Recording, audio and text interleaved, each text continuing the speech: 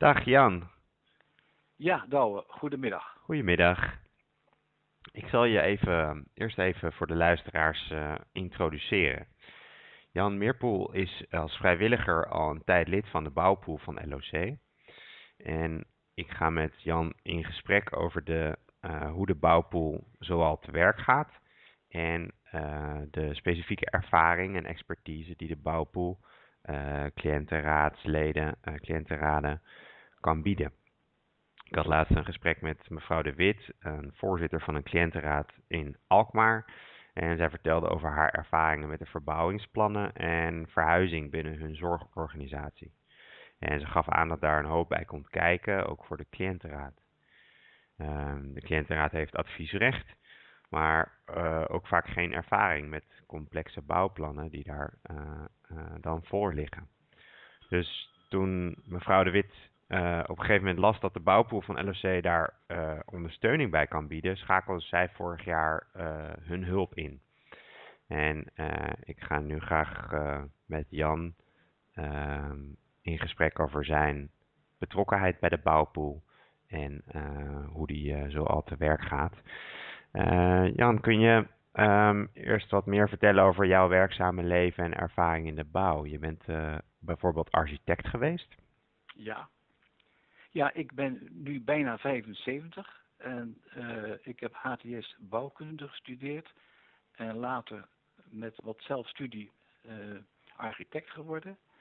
Ik heb mijn eh, werkzame leven eigenlijk eh, eh, geheel doorgebracht bij een grote bankinstelling in Nederland, Mhm, waar men een bouwbureau had mhm, waar ook bouwplannen werden voorbereid en begeleid eh, in het kader van bijkantoren bouwen of grote bankkantoren vernieuwen en dergelijke. En daar heb ik eigenlijk mijn hele werkzame leven aan gewerkt. En mijn specialiteit was eigenlijk met grote architectenbureaus in de regel een aantal nieuwbouwplannen geheel voorbereiden tot en met het bestek klaarmaken.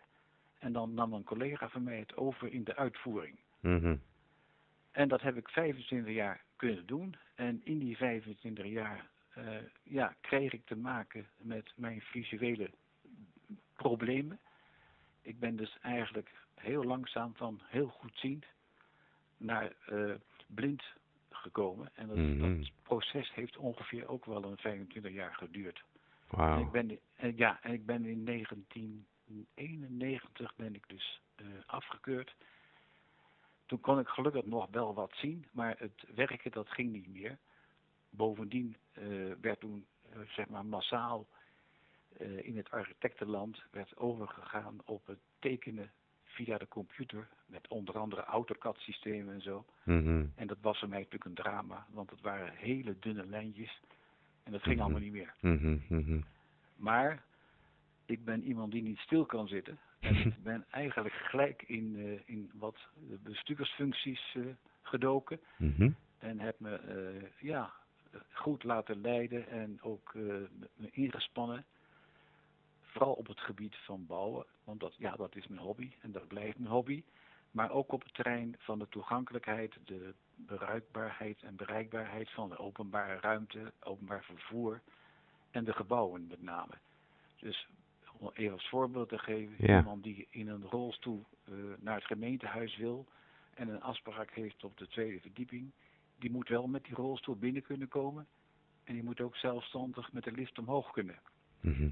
Nou, en dat soort eh, zaken, ja, dat is eigenlijk nog steeds niet mogelijk in een heleboel gebouwen en scholen. Mhm, Dus dat heb ik gedaan. En op een gegeven moment werd ik benaderd via het eh, NPCF, hè, de Nederlandse Patiënten- en Consumentenfederatie, omdat er een, eh, een plaats vakant was in het college Bouw Zorgvoorzieningen, mhm. het CBZ in Utrecht. Notabene zat hij in hetzelfde gebouw als waar het, eh, het LOC nu zit. Oh ja. Ja, en daar heb ik dus ja, bijna zeven of acht jaar eh, mogen meedraaien als vertegenwoordiger van de patiëntenbewegingen in eh, de commissie bouw. Dus die, die ging over, eh, over de centen, die ging over de normeringen, over de indexeringen. en in de commissie GHZ, dat staat voor gehandicaptenzorg. En dan zat je dus aan een tafel met wel 25 man, en ook dames overigens. En daar zaten directeuren van instellingen bij, daar zat iemand bij van het zorgkantoor, van de Nederlandse Zorgautoriteit, van IGZ, van uh, de zorgverzekeraars, van het ministerie. Mhm. En daar werden dus alle bouwplannen van de zorginstellingen, dus de intramurale instellingen en Mhm. ziekenhuizen, werden daar eh, behandeld. Mhm. En wij waren een adviesorgaan van het ministerie van VWS. En die bouwplannen werden dus door ons beoordeeld. Mhm. En ik moet zeggen, eh, naar mij werd geluisterd. Want ja, ik was dan wel de enige eh, eh, persoon in zo'n zaal met een handicap. Ja. Maar ik was altijd wel degene die altijd alles goed voorbereidde. En als er iemand zei van ja, hoe, hoe zat het ook alweer? Dan werd er vaak geroepen, nou vraag maar aan Jan Meerpoel, want die heeft het wel goed, goed gelezen. en, En dat vond ik wel leuk. Maar nogmaals, die plannen die, die werden uitvoerig doorgekauwd. En ja, ook vaak weer teruggewezen naar de architect, omdat ze te klein of te groot waren of te duur. Maar uiteindelijk eh, konden wij dan een positief advies geven aan het bestuur van het CBZ.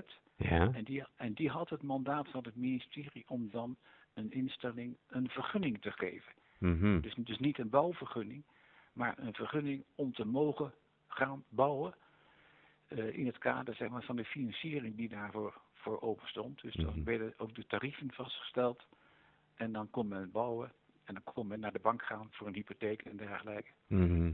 En uiteraard moest elke gemeente natuurlijk daarnaast nog een bouwvergunning verstrekken. Mhm. Nou, dat, is, eh, dat was een hele leuke tijd. Heel veel geleerd. En ook gemerkt dat heel veel instellingen heel veel moeite hadden met dat CBZ. Want ja, het waren toch eh, bureaucratische regels en, en voorschriften.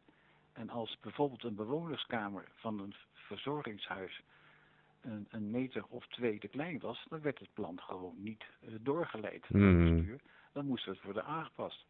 Overal waren er dus prestatie-eisen voor Ja. vierkante metermaten en dergelijke. En eh, als je daar niet aan voldeed, dan, eh, ja, dan kreeg je geen vergunning. Althans, Ja. als, het te, als het te klein was. Als het te groot was, kreeg je wel vergunning. Maar er werd erbij gezet dat je dan de meerkosten, omdat het groter was dan de norm, dan moest je dan maar zelf zorgen dat je dat geld bij elkaar schraapte. Ja. En dat gebeurde ook wel. Mhm. Ja, dus daar hebben we nogmaals heel veel van geleerd. En toen dat college werd afgeschaft in 2008, meen ik, ja, toen werd ik door het LOC gevraagd, met nog iemand, met een collega van mij, of hij niet wilde toetreden tot de bouwpool van het LOC. Mhm. Want die, die was toen net in oprichting of die draaide een paar jaar, maar met wat weinig mensen nog. Dat was eigenlijk nog in een zogenaamde voorbereidende fase, zeg maar. Mhm. Nou, dat heb ik toen maar gedaan. Mhm. Ja. En wa- wat was je motivatie om dat te doen? Nou, ik vond eigenlijk dat beoordelen van die bouwplannen eh, heel leuk om te doen. Je had ook heel goed inzicht in eh, wat er speelde. En wat ik dus merkte, eh, dat ja, wij zaten met z'n tweeën daar in zo'n vergadering. Wij waren eigenlijk de vertegenwoordigers van de cliënten. Vertegenwoordigers van de, zeg maar, van de mensen met een handicap of van ouderen en dergelijke. Ja. Maar wij merkten ook dat die bouwplannen, die waren eh, voorbereid natuurlijk door de directies. Hè, dat waren de opdrachtgevers. Mhm. Daar zaten natuurlijk de architecten bij en de adviseurs. Maar we hadden eigenlijk nooit contact gehad, want dat was ook niet eh, aan de orde bij ons, met de cliëntenraden van die instellingen. Mhm.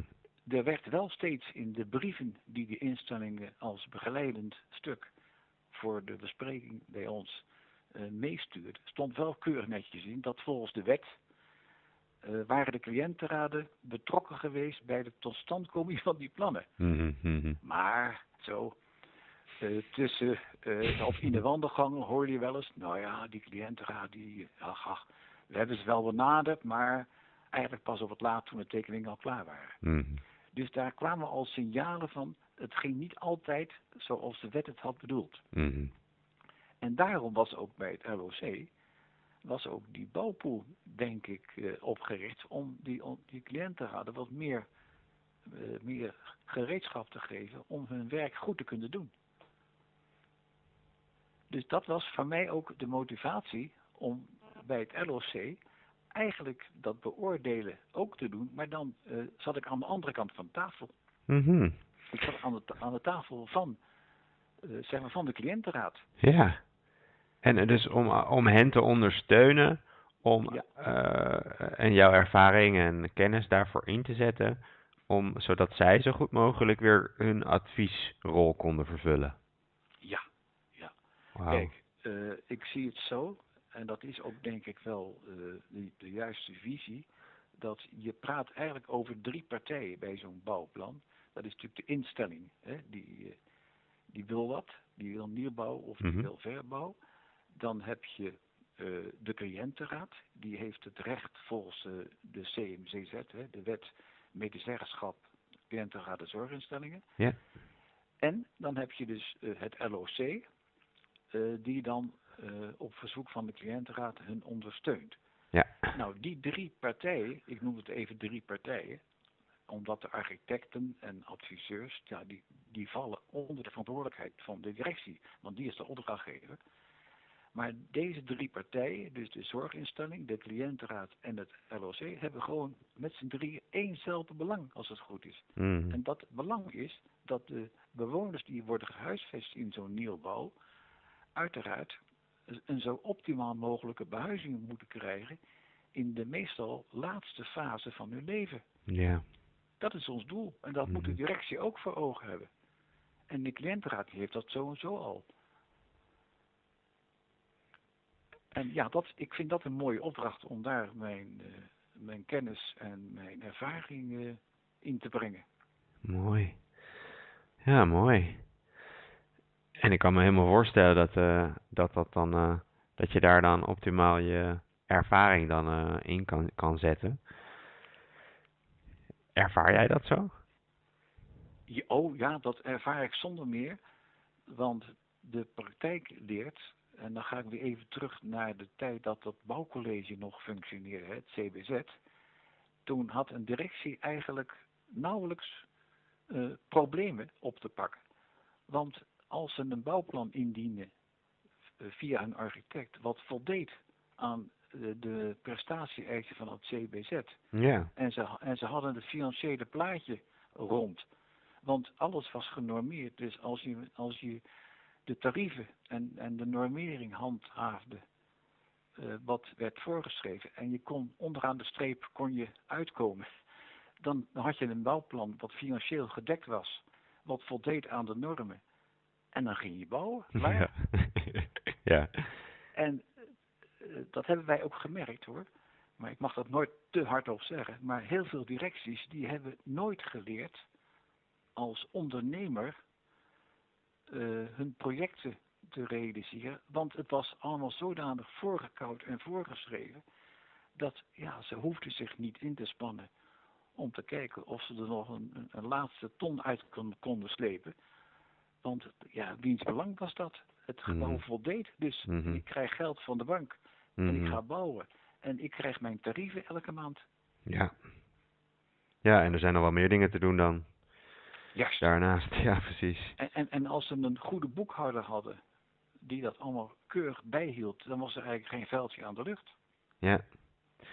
En, en nu zeg je dan dus ook van, eh, als je dan nu aan tafel zit, dan heb je ook heel duidelijk dat dat eh, eh, belang, zoals je dat net eh, eh, omschrijft, als zijnde dat bewoners een zo optimaal mogelijke woonplek eh, eh, moeten kunnen hebben, dat, je, eh, dat je dat dat een heel wezenlijk onderdeel is van hoe je eh, je gesprekken hebt en je ondersteuning biedt. Ja, dat is ook zo. Ik denk ook dat dat voor de cliëntenraad van, van groot belang is. En dat heeft nu vooral eh, meer waarde gekregen, dat belang, omdat die prestatie-eisen, die gelden niet meer. Dat is allemaal afgeschaft. En de zorginstellingen kunnen in principe nu bouwen wat ze zelf goed vinden. Ja, Ik zeg dat wat kort door de bocht. ja, Maar eigenlijk is het wel zo. Er zijn nog wel een paar zogenaamde uh, veldnormen ingebracht. Eén daarvan is uh, de brandveiligheid. Dat is, dat is natuurlijk een hot item. Ja. In verband met een aantal branden die geweest zijn. Mhm. Eh, onder andere één in Oesgeest, waarbij drie doden vielen. Ja. En uh, er is nog een veldnorm over veiligheid van de bewoners. Zeg maar, dat is de fysieke veiligheid en de veiligheid indien er zich een calamiteit voordoet. Mhm. Dat zijn veldnormen, maar voor de rest uh, moeten de instellingen een bouwplan uh, indienen bij de gemeente wat voldoet aan het bouwbesluit. Dat is een landelijk bouwbeleid waar elke architect zich aan moet houden en ook een opdrachtgever. En verder zijn er eigenlijk geen, geen eisen waar, uh, waar een gebouw aan moet voldoen. En dan zou je, in het extreme gezien, zou je best voor een bewoner een, een, kamer van 12 vierkante meter kunnen bouwen. Ja, ja en precies. Dat, ja, en uh, dat, dat, dat doen ze dus natuurlijk niet. Maar er is door de wetgever, dus door het ministerie van VWS, is een uh, escape ingebouwd. Dat het IGZ, hè, de Inspectie Gezondheidszorg, heeft wel de taak en opdracht gekregen om te controleren. En dat is heel vreemd, vinden wij. Dat controleren geschiet pas achteraf. Mm -hmm. Dus als een gebouw er staat en er zijn klachten, dan kan de cliëntenraad, maar ook anderen, kunnen dan uh, IGS inschakelen van kom hier eens kijken, want hier is iets niet goed, niet goed gegaan. Ja. Ja, en dan komt natuurlijk de handvraag, is IGZ niet te laat gekomen en je gaat toch niet een nieuw gebouw weer slopen? Ja. Dus dat is eigenlijk, ik zeg het in mijn eigen woorden hoor, een beetje een wassen neus. Ja. Ja, dus je zegt, er, er is een heleboel ook in het uh, uh, speelveld, zeg maar, van wat, waar je mee te maken hebt als instelling en, uh, en andere betrokkenen. En, en, het een en ander verandert aan regelgeving.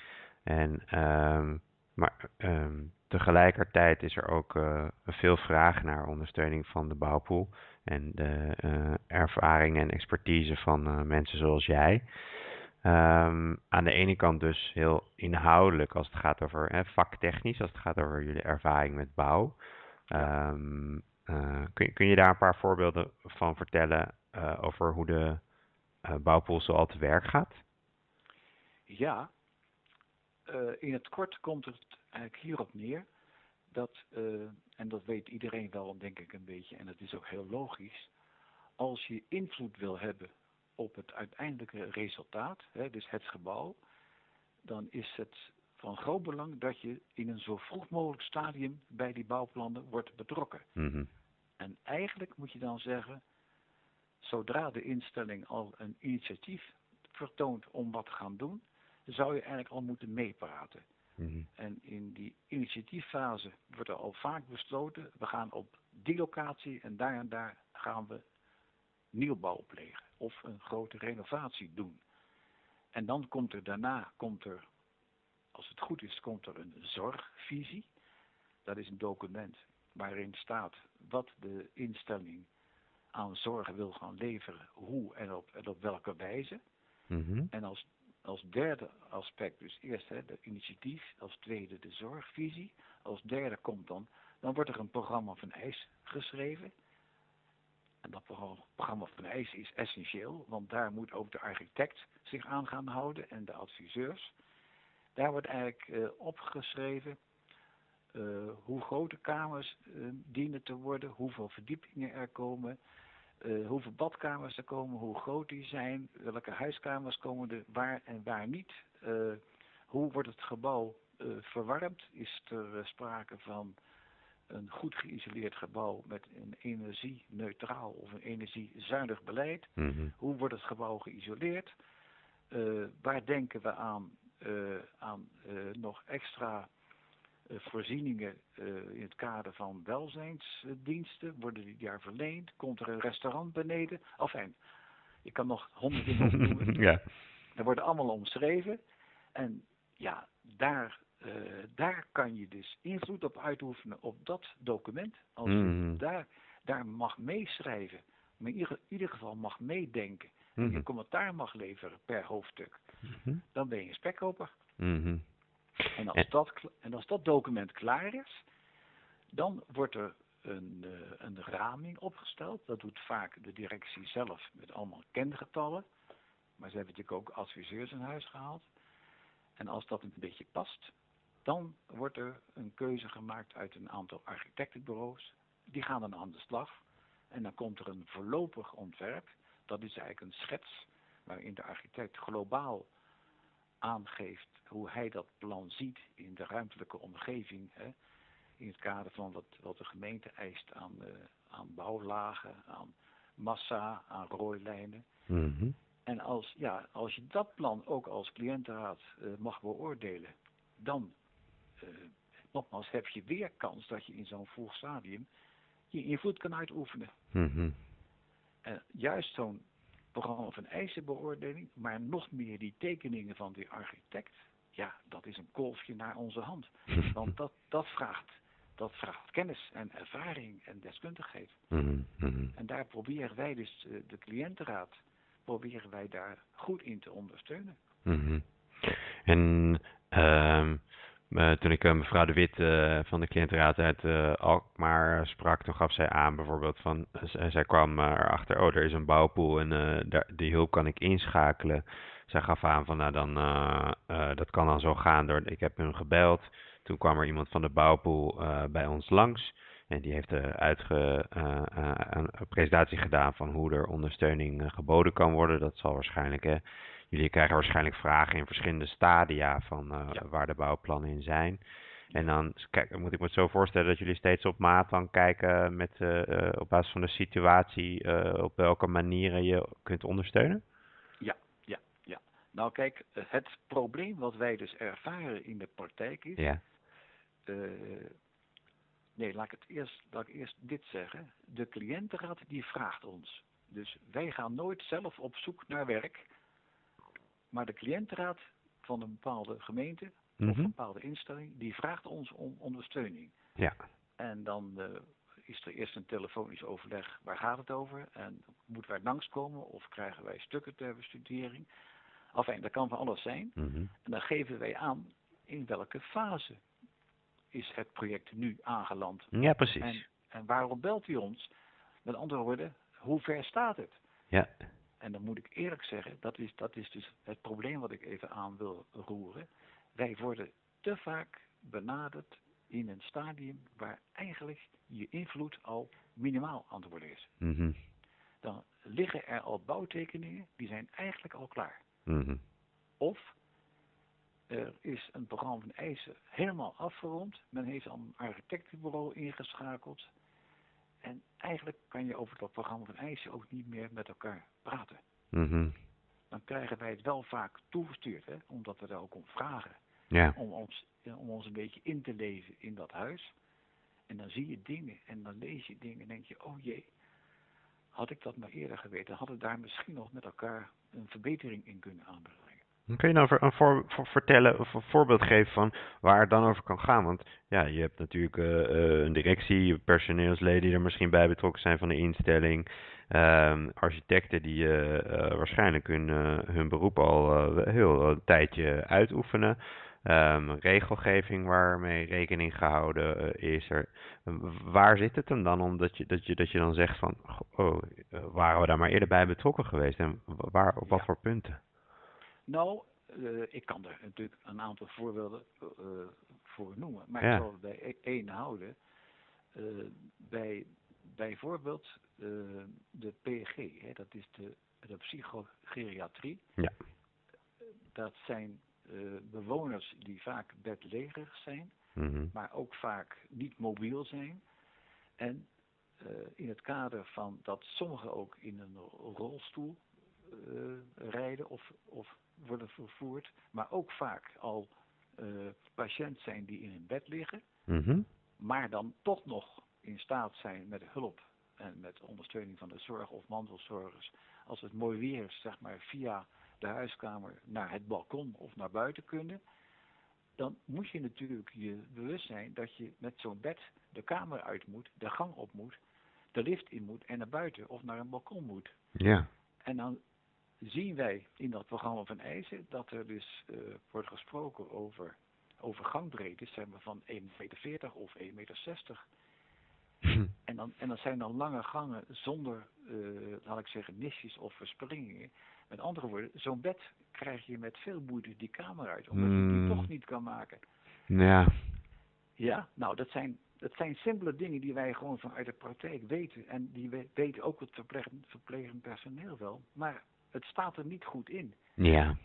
En dan is zo'n architect die zal aan het tekenen. En dan heeft hij al eigenlijk het hele bouwplan in zijn hoofd zitten. Op basis van die gangen van 1,60 breed. Mhm. Maar die, die gangen die moeten dan eigenlijk minimaal 2,40 meter zijn. Mhm. Ja. Nou, dat soort dingen. En, en is dat dan zo, is dat eh, jullie ervaring dat dat eh, vaak niet in dit soort dingen, dit soort, pra dat is heel praktisch, eh, dat Dit- dat, Dit zijn pragmatische zaken. Ja. ja, Eh, eh, heeft dat dan te maken dat iemand, eh, oh, dat dit, kom, je, kom je dit vaak tegen, dit soort hele eenvoudige zou je denken als een leek, dingen om rekening mee te moeten houden? Ja, we komen dat toch wel vaak tegen. En vooral in de tegenwoordige tijd waarbij nieuwbouw niet zoveel meer aan de orde komt, omdat het ja, ook niet goed betaalbaar meer is. Ja, Maar dat kan ik straks op terugkomen. Maar er worden ook nu bouwplannen ontwikkeld op basis van huidige plannen gaan renoveren. En dan zit je natuurlijk met de bestaande structuur van, van bouwmuren en gangbreedten Hmm. wordt dat vaak gehandhaafd, omdat Mhm. anders dat slopen veel meer gaat kosten. ja, Dus dan, dus dan krijg je een bouwplan waarbij de cliëntenraad wordt voorgehouden. Van we krijgen weer een prachtig gebouw, het wordt allemaal vernieuwd en het wordt allemaal eh, heel mooi. Maar de essentiële zaken waar het eigenlijk om gaat, die worden dan niet aangepakt. ja, En ja, dan moet je wel eens eh, met een cliëntenraad daar met de directie over gaan praten. Van ja mensen, jullie geven nou een aantal miljoenen uit. En wij snappen best dat jullie wat willen en dat het ook beter moet. Maar een heleboel zaken die gewoon voor het personeel lastig zijn, die Mhm. laten jullie liggen. Mhm. En dan, nogmaals, dan geven wij dus advies aan de cliëntenraad. Mhm. Dat is zelfs wel eens hard hoor. Van wij adviseren aan de cliëntenraad om dit bouwplan eh, af te keuren. Want het voldoet niet aan een aantal basiseisen. Ja. En wat, wat, wat zouden dan basiseisen eh, kunnen zijn? Nou, eh, kijk, een kamer van, laat ik zeggen, 18 vierkante meter of 16 vierkante meter in, in de PG of in de somatiek, hè, met, met ZZP 8 of 6, Mhm. dat is prima. Maar je kan een kamer maken van 4,5 bij 4,5, maar je kan ook een kamer maken van 2,5 bij 6 meter diep Mhm, of 7 mhm. meter diep. Ja, zo'n zo'n lange, smalle kamer, die natuurlijk vaak voortkomt uit een bestaande situatie, die is niet optimaal voor gebruik van, van deze tijd. Met, met tilliften en dergelijke.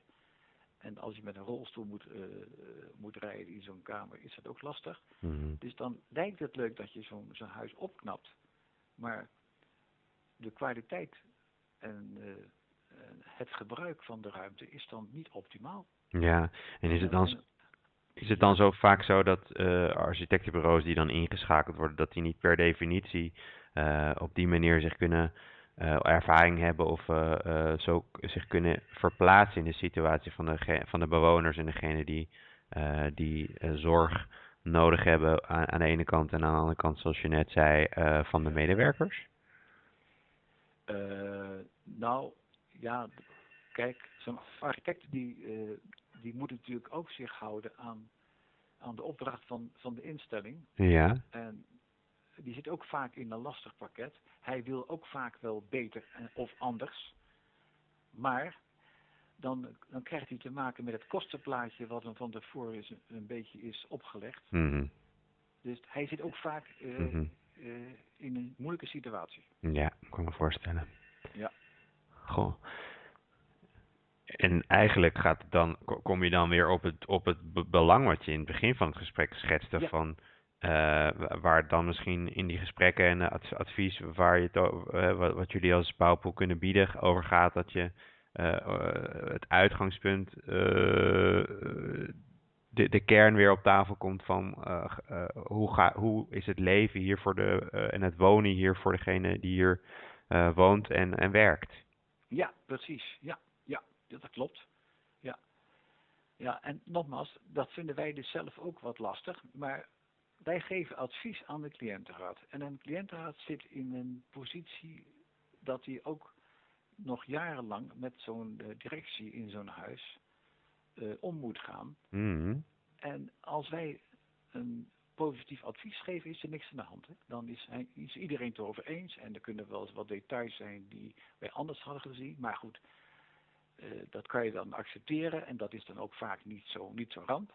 Maar als het echt een, een slecht plan is, dan heeft zo'n eh, cliëntenraad ook wel een lastige positie. Want die zijn aan de andere kant weer blij dat toch hun huis wordt opgeknapt. Ja, ja, ja, en, dat precies. het, en dat het weer, weer leefbaarder wordt. En dat het allemaal weer, ja, iedereen is dan blij. Maar Ja.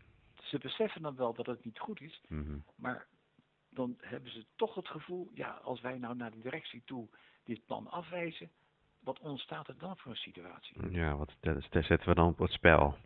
Wat zetten we op het spel? Ja, Mhm, Ja. Ja. Ja. Want je wilt er natuurlijk gewoon het beste, eh, zowel op dat moment als, als eh, voor, de, voor, de, voor je relatie die je onder, te onderhouden hebt, eh, uithalen.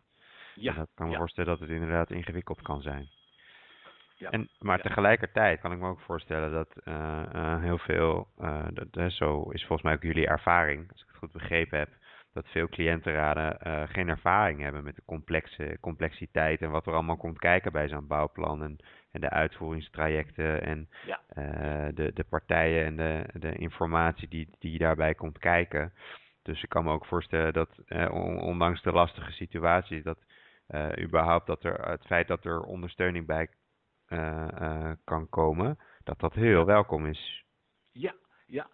Nou ja, daar, daar, raak je inderdaad een punt nu, eh, wat, wat heel terecht is. En ik vind het ook heel begrijpelijk en het is ook logisch.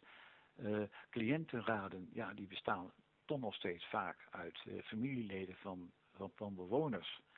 En het komt toch maar zelden voor dat eh, zo'n familielid die, die dan lid van de cliëntenraad wordt, bij toeval ook nog een bouwkundige of een techneut is. Ja. Dat, dat maken we niet zo vaak mee. Mhm. En ze zijn allemaal van goede wil. Mhm. En, eh, maar het bouwvak, en vooral, vooral in, in toenemende mate in deze tijd, met al die regels en wetten, en ook wat je nu op dit moment heel veel ziet, hè, isolatie en e- eh, energie-neutraal werken, en noem op aard, warmte, enfin van alles wat er allemaal bij komt passen, dat is zo technisch ingewikkeld geworden. Mhm. Dat kan je een cliëntenraad ook niet aandoen. Mhm, Nee, precies. En bovendien, en dat is ook ons probleem een beetje, wij hebben ook wel gemerkt dat heel veel cliëntenraden, ja, die hebben qua, eh, laat ik zeggen, hun zittingsperiode, hebben ze een hele, hele hoge omzetsnelheid. Ja. Vaak is, is zo'n cliëntenraad na twee of drie jaar alweer eh, geheel uit nieuwe mensen bestaande. En dan moet je het verhaal weer opnieuw gaan houden. Mhm. Maar wij merken in de praktijk, als wij met cliëntenraden praten, en dat is ook wat ons, ons werk zo leuk houdt, ze zijn ontzettend blij met onze komst. En er is een goede sfeer en er wordt altijd eh, dankbaar gebruik van gemaakt van onze kennis. En ja, dat werkt. En dat vinden wij zelf ook fijn, want dan heb je het gevoel dat je nog iets kan overbrengen waar een ander niet over beschikt. En dat Prachtig. je, en, en dat doet je goed. Ja, dat doet iedereen goed, denk ik. Ja, dat denk ik ook. Ja. Ja. En is er, is er denk je, eh, eh, om, om af te ronden, een ehm, nog specifiek iets aan de, eh, hè, de meeste mensen in de bouwpool die hebben op een of andere manier heel direct met mensen met een beperking te maken gehad of met zorg, het zij zelf of, of om hen heen. En ik heb ook begrepen dat het werk van de bouwpool ook daarom ook vaak gewaardeerd wordt omdat ze zich kunnen, eh, zoals we net ook even hebben benoemd, zich kunnen verplaatsen in eh, eh, het specifieke van dag tot dag situatie in zo'n eh, woonplek en werkplek. Ja. Is, is dat iets waar jij ook merkt dat je daar specifiek ook feedback over krijgt? Ja, Naast jullie inhoudelijke kennis en expertise? Nou, eh, nee, dat laatste niet zo, maar wij, wij lezen natuurlijk ook eh de programma van Eisen en daar zitten ook regelmatig ook eh, onderliggende stukken bij van personeelbezetting op, in, in zo'n nieuwbouw. En dan wordt er gewoon tot op cent nauwkeurig wordt daar gewoon berekend hoeveel personeelsleden er op een woongroep of op een afdeling noodzakelijk zijn. Mhm. En dan hebben wij wel eens het gevoel dat een instelling, en ik denk ook dat ze niet anders kunnen hoor, maar dat zo'n instelling daar ook op rekent dat ten alle tijde naast het betaalde personeel er ook uh, mantelzorgers, familieleden uh, en, en, en, en kennissen komen helpen en ondersteunen. Want zonder de hulp van de vrijwilligers in zo'n huis kan het personeel het gewoon niet aan. Mhm. En ik denk dan, ja, dat gaat dan toch uiteindelijk de kosten van uh, de, zeg maar de leefbaarheid van de bewoners. En dat doet mij dan wel eens pijn als dan wordt gezegd in zo'n instelling, ja, wij gaan ervan uit dat de, dat de bewoners toch wel in hoofdzaak op hun kamer blijven zitten de hele dag. Ja. Dat, dat geeft mij geen goed gevoel. Mm, nee. Want sommige bewoners, ja, die, die, die, die, zullen dat misschien wel doen. Maar ik denk dat een heel groot deel juist ook behoefte heeft om uh, contact te hebben met, met de buitenwereld, zeg maar. Zeker, ja. En toch een beetje uh, de dagelijkse gang, zoals het zeg maar, in een normaal huis gezien loopt, ook mag ondergaan. Ja. En, en als men daar dus geen tijd voor heeft en ook geen geld heeft om dat met personeel te doen, en je, en je laat dat dus over aan mantelzorgers en dergelijke. Ik vind dat overigens een goed voorstel hoor, die mantelzorgers en Mhm. familie. Maar het, moet dus niet zo zijn dat men daar al, altijd voor 100% op rekent dat dat ook zo is. Precies, en dat er concessies gedaan moeten worden, eh, dat als dat eh, er, er niet kan zijn, dat andere dingen daardoor ook niet kunnen en minder kunnen. Ja, ja, ja. Hele, eh, eigenlijk hele menselijke, basale eh, behoeften van ieder mens eigenlijk. Ja, Tenminste, van veel mensen. ja, klopt. En, ja, en dat doet mij wel eens een beetje pijn als ik dan wel eens merk. En ja, ik merk dat ook aan de cliëntenraden. Die zeggen ook, ja, het, het moet allemaal voor eh, minder geld, met minder personeel. En er wordt steeds meer een, eh, een dringend beroep gedaan op de familie. Ja, En ik snap dat best, want het, het gaat natuurlijk ook allemaal alleen maar om geld. ja. Nog heel veel is dat eh, de, de primaire drive, hè? Ja. Gelukkig zie ik ook wel steeds meer voorbeelden van, van dat dat ook anders kan.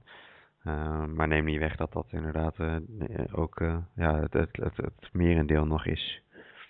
Ja, maar gelukkig zijn, dat merken wij ook, ik bedoel, wij maken ook, ook huizen mee waar een fantastisch plan komt en waar een goed programma van eisen aan de, gronds, de grondslag ligt. En waar gewoon echt voor 100% wordt gegaan voor het belang van de bewoners. Mhm. En dan kan het financieel ook nog uit. En, eh, ja, en bij andere huizen kan dat dan weer niet. Dus wat zou je zeggen, eh, als je dat dan nog zo, zo- zoals we het daarover hebben, wat zou je zeggen dat de, het, het effect kan zijn en de, de, wat, wat levert het op voor uiteindelijk de, de bewoners en, en ehm, als er meer aandacht kan zijn voor de dingen die we net hebben besproken in een, in een plan en in de, in de uiteindelijke uitvoering? Nou, ik, ik denk dat, dat mensen die, die zeg maar verblijven in, in, in onze zorginstellingen, Ja, dat die, dat die echt heel veel baat hebben bij een, een, een dusdanige verzorging en verpleging. En laat ik zeggen, een, een beetje knuffelen en een beetje vertoeteling, Mhm. eh, waarbij zij toch langer leven in een wat gezondere omstandigheden. Als ik het zo mag, mag zeggen in mijn eigen woorden. En dan bedoel je met ge- gezondere omstandigheden? Nou, iedereen die dus verblijft in zo'n instelling, die heeft natuurlijk eh, een, een fysiek of een geestelijk probleem. Ja. Mensen met dementie en mensen Mhm. met somatiek hebben allemaal problemen. Ja, Maar je kan dat, denk ik, eh, langer volhouden en misschien met minder pijn en misschien met minder stress, als je directe omgeving daar goed op inspeelt. Zeker, ja. Dat denk ik. Ja, dat wijst onderzoek ook steeds weer uit. Ja. Goh, dat is toch ook wat, ja, dan zeg je hè, de, dat, dat kwaliteit van leven toch altijd weer zo eh, eh, op, op al hè, met alle voorbeelden, praktische voorbeelden die we net hebben besproken, dat dat steeds het, daarop uiteindelijk in de kern ook weer op neerkomt. Ja. Ook al hebben we het heel veel over geld, steeds is dat toch eigenlijk waar het eh, mensen over gaat. Ik denk het ook, ja. Ja.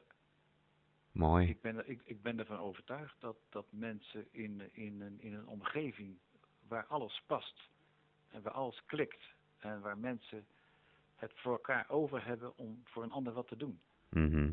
dat dat eh, ieder ten goede komt. Ook de Mhm. patiënt, om zo te zeggen. Ja. Dat kan niet uitblijven volgens mij. dat denk ik ook. Is ook mijn ervaring. Ja, ja, ja. Nou, dat lijkt me een hele mooie, eh, mooi punt om bij eh, af te sluiten, Jan. Ja,